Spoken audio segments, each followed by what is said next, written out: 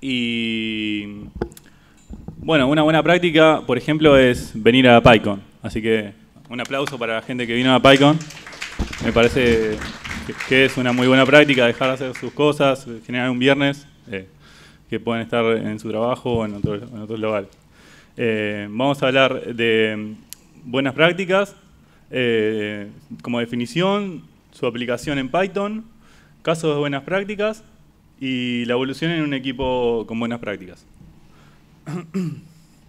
bueno, ¿qué son las buenas prácticas? Las buenas prácticas son un conjunto de métodos o pautas que surgen a, raíz de mm, una problemática en particular y se encuentra eh, en base a la experiencia una solución eh, eh, con resultados, o sea, con la experiencia de buenos resultados se, encuentra una solución y además se aplica en un contexto.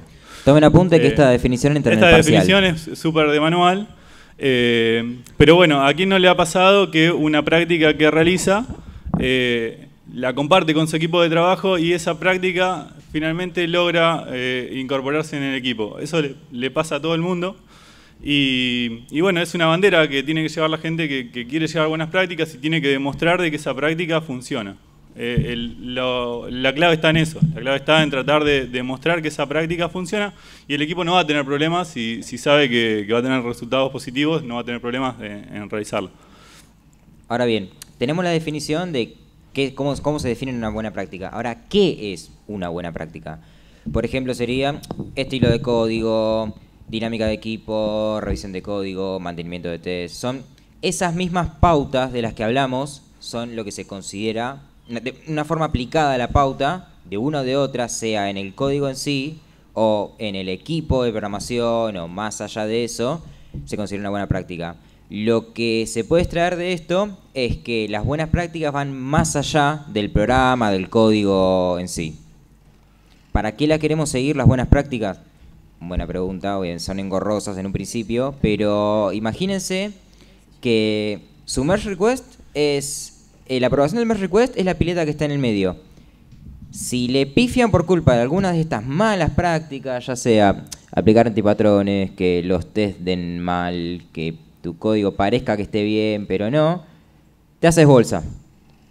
Ahora, si te alejas de todo esto, tenés la aprobación del pull request y tu código está bien hecho. En estas mismas prácticas en Python, ¿cómo las hacemos? Bueno, eh, hay diferentes eh, tipos de buenas prácticas. Tienen el Zen de Python, en que es una guía eh, que todos nosotros seguimos cuando hay una discusión la que resuelve siempre es el Zen. Uno busca, lo busca como, como algo de manual y, ese se banca todo porque, porque sabemos que hay varias formas de interpretarlo, es súper controversial, pero, pero generalmente uno apela al Zen y, le responde. Eh, la mentalidad de un pythonista frente al código, eh, eso es lo que había opinado mi, compañero. bueno, puedo pasar al siguiente slide. P8. Bueno, Pepocho es el estándar. Eh, es buenísimo poder seguir el estándar, pero hay, o sea, hay diferentes estándares. Así que uno tiende a seguir lo que siguen los demás, pero, pero si en el equipo de trabajo están siguiendo otro tipo de estándar, eh, es feísimo que alguien ponga un pedazo de código con otro tipo de estilo. Así que eh, recomendamos Pepocho, eh, pero bueno, eso se adapta según, el, según el equipo de trabajo. Se pueden bloquear algunas, eh, algunas alertas, así que con eso... Claro, lo importante también de destacar acá es que P8 no es absoluto en Python. Es decir, algunas prácticas de equipo toman precedencia o guías de estilo de frameworks como Django, que conocen prácticamente todos acá, que definen sus propios estilos, que sobrescriben, entre comillas, lo que define P8. Por otro lado, está el tema de PyFlakes, que es otro estándar que define cómo se maneja la importación y los nombres en Python. Es decir, no, no hagas import duplicados, no importes cosas que no usás, no, mm, no definas variables que no usás, cosas que deberían ser esenciales. Mezclando estos dos, ya para entrar al lado de aplicar la buena práctica que nos llevan, está el paquete Flake 8 que verifica el código, ahora vamos a ver un poco más adelante lo que sería decirle un linter o un parser, eh, y les indica cuál, cuáles de las reglas que no están ignorando de Pepocho o de PyFlakes están incumpliendo en su código. Y al tener un solo paquete, reducen el requirements TXT. Estamos todos felices. Bueno, code review. Eh, code review, hay diferentes tipos de, formas de hacer code review. Eh, eso se adapta también a la situación del equipo y de la distancia en la que nos encontramos con, nuestro compañero. Se puede hacer de a pares, eh, uno se puede sentar al lado del otro y, contarle qué le, pasó en el código, o también puede hacer una visualización remota, eh, de forma que eh, uno no tenga que inmediatamente estar pendiente, de, disponible para, para que el compañero reciba una, respuesta, sino que uno sube su código y alguien remotamente le, dice qué le parece o qué es lo que encontró en, ese código. Eh, podemos citar eh, a, la, charla plenaria de, la PyCon pasada, que, fue genial, y, estaría buenísimo que, la puedan, puedan repasar, está en los slides. No sé si está el video, yo no lo, no lo encontré, traté de buscarlo, no, no lo encontramos. Eh, pero, o sea, la charla de la Sendeca estuvo, estuvo muy buena. Ahora la parte que todos odiamos, y Wilkinson seguro me va a matar si ve esto, el testing. Testing, bueno, es importante porque hace que el programador se pueda sentir, como lo vemos acá, un funámbulo, o un equilibrista, como se le podría decir. Vos estás caminando la cuerda floja y sabes que si pisás mal, tenés una red de contención que serían los test abajo. Igual tiene que aprender a caminar sobre la cuerda floja porque a veces la, red se rompe. La forma correcta, entre comillas, de aplicar testing que no duela mucho es el test driven development, que es un ciclo bastante simple de escribir el test, escribir un código que pase el test y refactorizar ese código para que se vea todo, ok, no van a subir a producción el primer código, casi nunca. ¿Por qué es importante esto? Porque como buena práctica, a veces sabemos que el código no es infalible, todos acá, y a veces las cosas no se rompen a simple vista, sino en un caso de uso que se hace engorroso a la larga repetir cada una de las pruebas. Entonces, tenemos los test automatizados arriba que me permiten codear, llevar mi idea a un, código, un programa, una función, y saber que si rompí algo más, me va a saltar antes de que llegue a producción. Bueno, y ahora eh, y ahora, ahora pasamos al siguiente slide. Vamos a ver el código. Que en realidad, eh, bueno, este código no, en realidad es un código mucho más lindo. Eh, caso 1, clase de herencia, mixin. bueno, uno, debido al copy-paste, uno recurre a distintas herramientas. Eh, lo que menos quiere es esto, que es eh, la, mayoría de los métodos copiados de, una clase a la otra, sin ningún tipo de herencia. Eh, eso nos provoca esto. Y, bueno, esto es algo, me parece intermedio, porque en realidad usa herencia, pero sigue, sigue redefiniendo, si ven ahí en la, clase eh, mamífero y la clase, la clase tigre y la clase oso, redefinen zarpazo, siguen redefiniendo cosas. Eh, esto es algo intermedio y después están los mixin, que eso nos ayudan a, redefinir, a redefinir algunos, eh, algunos comportamientos. En realidad, y la clase base es, una clase base. Expandiendo el tema de que a veces las buenas prácticas más allá del código, como habíamos mencionado, tenemos el segundo caso que se había pasado por Telegram hace un tiempo, que era una implementación de SHA-256 en una sola línea. No se necesita un experto para saber que esto es feísimo.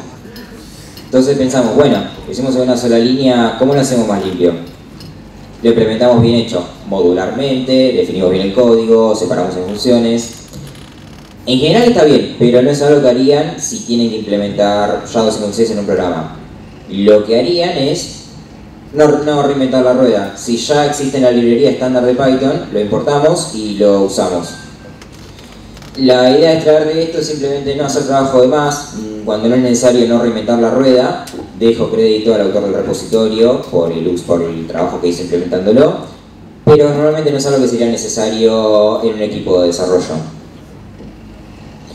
Y hablemos un poco de lo que son casos reales, porque si bien esto es didáctico, no es algo las clases animales nunca van a ver, jamás, fuera de Academy. Acá, acá podemos hablar de, algo que nosotros nos, tocó bastante de lleno, que fue el, caso de los test y la automatización. Eh, cuando yo entré en la empresa, eh, allá por el 2009 creo, eh, nosotros nos llegaba un mail que nos decía los test están rotos, nos decía qué línea estaba rota. bueno, eso corría automáticamente, de eso pasamos a Jenkins. En Jenkins nosotros encontramos una solución y, en un momento se, rompió la máquina que corría Jenkins y se nos, perdió la forma en que se ejecutaban, volvimos al shell y de ahí fue cuando encontramos los pipelines. Eh, esto esto es, muy bueno, tiene, o sea, podés importar una imagen de Docker, eh, te, carga el repositorio, esto funciona directamente dentro de Bitbucket eh, y es un archivo de YAML que se puede configurar bastante fácil. Esta fue la primera, la, primera versión y tenemos una versión un poco más nueva, que un poco más estilizada, en la cual eh, le decimos que según eh, lo que tiene eh, la descripción del, del branch, ejecuta uno o uno u otro test. Eso, eso fue una, una, opción que encontramos. Claro, el problema que teníamos en un principio con los pipelines, aparte de casos que no nos dimos cuenta que a veces fallaba, era que se corrían para cosas que no nos servían.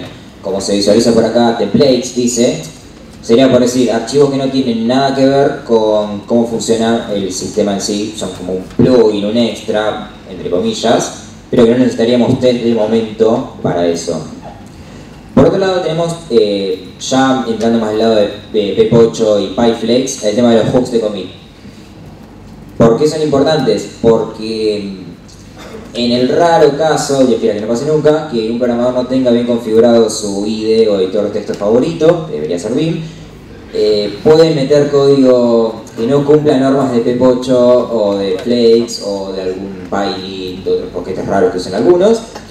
Así que lo revisamos del lado del commit. Si quieren subir un cambio que no no cumple estas reglas, se les da una advertencia que dice en esta línea rompieron esto, en esta rompieron esto, en esta rompieron esto, en esta rompieron esto, ponete las pilas.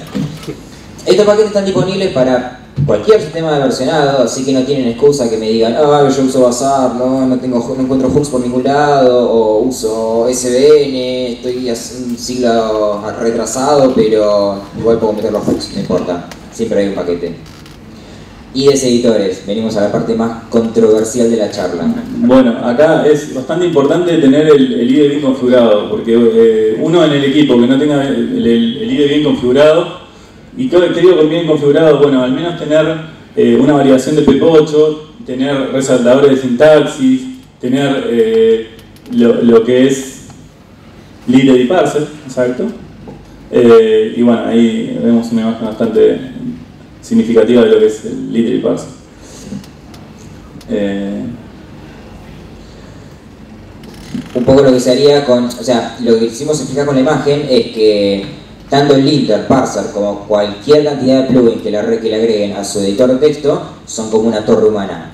Son partes que se van conectando para llegar a una meta común, que sería que 20 personas parezcan una sola línea. No tiene que ver con el desarrollo de las personas, pero se entiende la metáfora. Y, esto va de la mano con, los hooks, porque si uno no tuviera bien configurado lo, que es el, editor de texto, o el editor de texto, o el IDE, o lo que usen para, editar su, su, o sea, sus fuentes, eh, van a tener este problema. Cuando quieran comitear van a tener hooks y le va a tirar un choclazo de un montón de errores. Y por más que sea muy buen programador, o sea, o sea, vos podés ser bueno, pero tu compañero capaz que no es tan bueno y, mete, mete código que no, no, te conviene. O sea, porque después a la vista es, es, feo que, el código no tenga lo que algo similar a lo que vos haces al menos. O sea, es, feo. Y con, el mismo, con lo mismo que dijimos de los hooks de commit, no hay excusa de no tenerlo porque todo editor de texto, todo IDE, todo programa que usen para modificar archivos de texto, tiene una forma de configurar estos linter, parser, sintaxis, color de esquema favorito, lo que quieran que sea necesario. Ya para ir cerrando un poco de tema, porque ya bueno, se hace engorroso, hacemos, podemos repasar un poco qué es lo que aprendimos con todo esto. Definición de buenas prácticas, aplicación importancia y casos en Python. ¿Qué sacamos de esto? Tenemos gráficos en los que nosotros empezamos a aplicar a mediados del año pasado eh, eh, los hooks y, un IDE bien configurado. Bueno, el IDE bien configurado ya estaba desde antes, pero se ve que mucha gente no, le, no le, da bola. Entonces ahí vemos cómo, cómo bajan las líneas de código con error y tenemos en este otro gráfico que también se puede ver cómo bajan las líneas de archivos, bajan la cantidad de archivos por, por cantidad de, errores. Que más que nada para dejar una visualización de cómo impacta inmediatamente y a la larga eh, el uso de validaciones de estándares estilo P8 o buenas prácticas en general también en Python, como fue nuestro caso en el sistema Fierro. Bien, ya para ir cerrando un poco, dejamos un, rato, un minuto de preguntas. Si alguien quiere consultar algo. Sí. sí.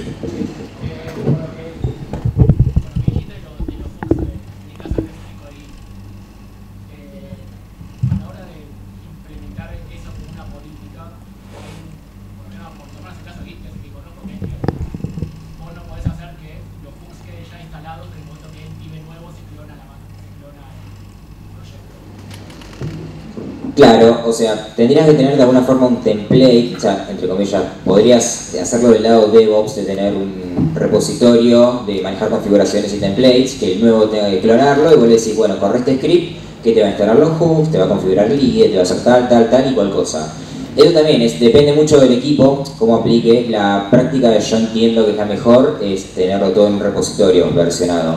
Cosa de que si quieren modificar un hook para um, uso personal, ya, para cumplir un estándar nuevo o porque ven que uno ya no es necesario, lo versionan, lo suben y se actualiza para todo el equipo.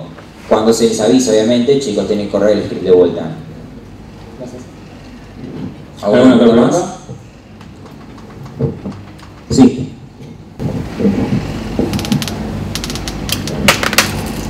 Eh, eh, esto yo lo leí en internet, pero creo que me salió acá. ¿no? Bueno, el caso es que yo leí por ahí que tener métodos privados es una buena práctica, algo así.